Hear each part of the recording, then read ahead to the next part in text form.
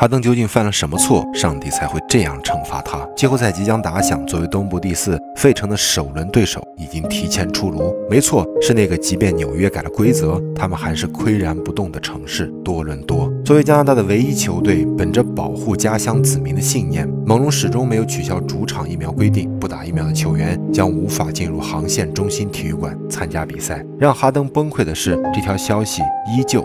与他有关，他身边的防守核心塞博尔被证实没有注射疫苗。其实，相比于欧文来说，塞博尔的理由更容易让人接受。他早就打了第一针，但即便如此，还是两次感染新冠，对疫苗的信任就此崩塌。所以，直到现在，他还是没有打第二针。至少在媒体的镜头面前，塞博尔的解释中充斥着无奈和抱歉的情绪，不只是对球队的抱歉，更有对社会的抱歉。他甚至妥协：“我知道这会对我的职业生涯造成巨大影响。”我认了，但最终的结果还是让费城球迷难过。今年季后赛首轮，他将会缺席全部客场比赛。对于切入人来说，塞博尔意味着什么？他是球队锋线上最棒的防守者，也是替全队协防的最佳人选。场均一点七个抢断，联盟第三，甚至盖帽也能跻身联盟前十五。说他是费城防守体系的核心，也绝不为过。这也正是为什么，即便他场均五点七分，整个赛季却打了五十多场首发。其实早在一九年季后赛结束的时候，费城就已经关注到了塞博尔了。完全符合他们对锋线防守人的要求。